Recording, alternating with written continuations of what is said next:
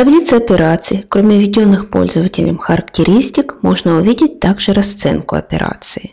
Единица измерения расценки, наименование денежной единицы, а также точность, то есть количество знаков после запятой, указываются в окне настроек программы.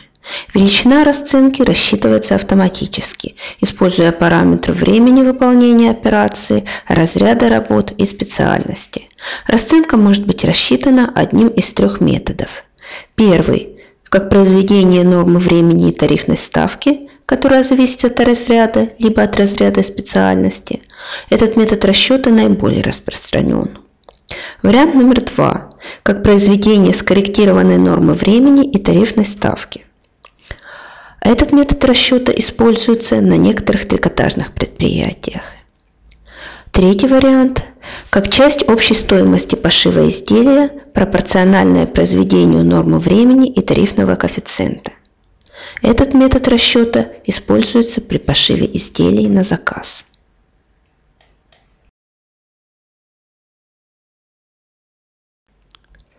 Чтобы открыть справочник тарифных ставок и коэффициентов, нужно в главном окне программы выбрать пункт меню «Сервис. Тарифные ставки». В появившемся окне с помощью кнопок «Добавить», «Изменить», «Удалить» нужно ввести ставки и коэффициенты. Единица измерения величины ставки указывается в настройках программы. Здесь ее можно увидеть в заголовке окна. Тарифный коэффициент равен отношению ставки текущего разряда к ставке первого разряда. Если при вводе ставки поле коэффициента оставить пустым, он будет рассчитан автоматически. Ставка может зависеть только от разряда работ, либо от разряда и специальности. Например, можно указать собственную тарифную сетку для работ секции ВТО. Переключатель специальности расположен в верхней части окна. Если специальность не указана, то ставка относится ко всем видам работ заданного разряда.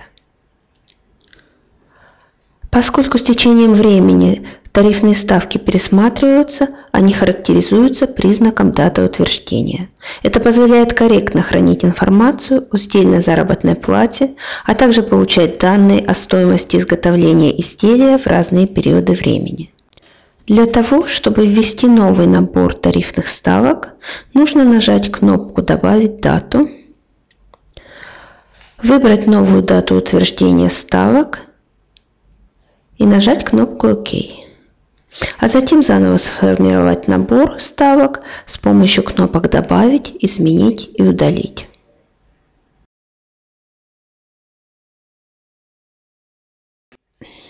Таблице узлов есть колонки суммарного времени выполнения и суммарной стоимости обработки. Эти же величины показаны в списке секций и в списке предметов. В правом нижнем углу показано суммарное время и стоимость изготовления модели в целом. Для вставки новой операции в середину списка необходимо выбрать операцию, перед которой необходимо вставить новый пункт. Затем в главном меню выбрать пункт «Операция», «Вставить». Либо щелкнуть правой кнопкой мыши над областью операций и в появившемся контекстном меню выбрать пункт «Вставить». Либо нажать клавишу F6 на клавиатуре.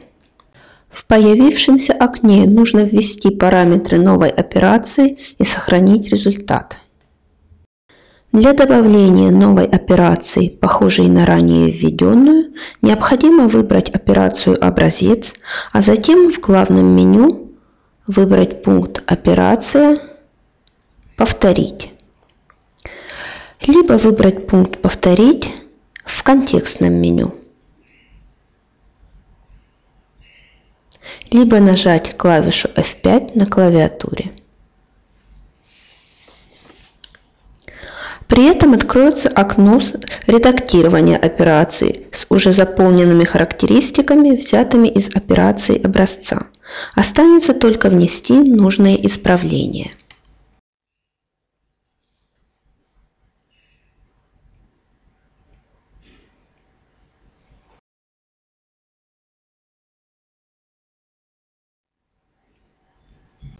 Новая операция будет добавлена после операции образца. Чтобы изменить какие-либо характеристики выбранной операции, нужно в главном меню выбрать пункт «Операция», «Изменить», либо выбрать пункт «Изменить» в контекстном меню. Либо нажать клавишу F4 на клавиатуре, либо дважды щелкнуть левой кнопкой мыши по операции. В открывшемся окне внести необходимые корректировки и сохранить результат. Для удаления выбранной операции необходимо в главном меню окна выбрать пункт «Операция. Удалить». Либо выбрать пункт «Удалить» в контекстном меню. либо нажать на клавиатуре клавишу F8 и подтвердить либо отменить свое решение. Чтобы изменить порядок операций в списке, нужно в главном меню окна либо в контекстном меню выбрать пункт «Переместить вверх» или «Переместить вниз», либо нажать на клавиатуре сочетание клавиш Ctrl стрелка вверх или Ctrl стрелка вниз. Выделенная операция переместится в указанном направлении. Чтобы переместить выделенную операцию в произвольное место, нужно в главном меню в пункте операции, либо в контекстном меню выбрать пункт «Переместить». Далее указать, перед какой операцией, либо после какой операции мы хотим видеть выделенную. Либо указать перенос в начало узла, либо в конец. Выделенная операция будет перенесена в указанное место. Чтобы изменить нормы времени одной или нескольких операций на какой-либо процент, нужно выделить операции в списке. Для этого нажать и удерживать на клавиатуре клавишу Ctrl и щелкнуть один раз левой кнопкой мыши по нужным операциям таблицы, после чего Ctrl отпустить. После этого в главном меню операция, либо в контекстном меню нужно выбрать пункт «Изменить время на процент». Далее в появившемся окне указать процент изменения, положительный для увеличения или отрицательный для уменьшения затраты времени. И сохранить изменения, нажав клавишу ОК. Кроме того, выделять операции можно через контекстное меню, воспользовавшись пунктами «Выделить», «Снять выделение» или «Инвертировать выделение». Система также дает возможность указывать затраты времени на выполнение операций с учетом коэффициентов, например, коэффициент сложности ткани, коэффициент за вредные условия труда и тому подобное. Для этого необходимо включить индикатор коэффициент сложности вредности в окне настроек. Тогда в окне операции рядом с колонкой времени появляется колонка с коэффициентом, где показаны нормы времени с учетом коэффициента. В одной последовательности для разных операций могут указываться различные коэффициенты.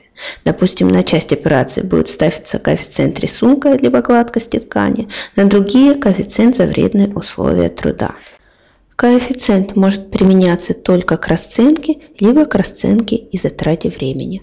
Чтобы указать для операции коэффициент, нужно выделить одну или несколько операций в списке и в главном меню операции, либо в контекстном меню выбрать пункт коэффициент сложности вредности.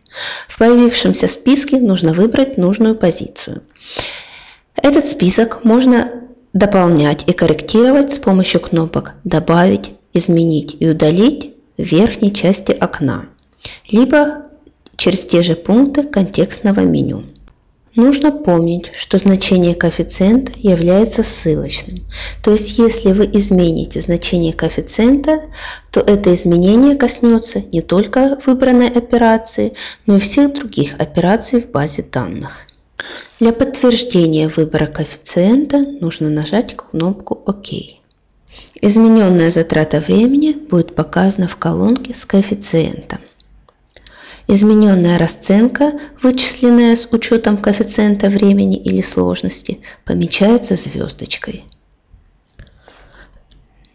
Чтобы убрать коэффициент для одной или нескольких операций, нужно выделить их в списке, затем в контекстном меню выбрать пункт «Коэффициент сложности вредности» и в появившемся окне выбрать пункт «Нет коэффициента». Кнопкой ОК сохранить изменения.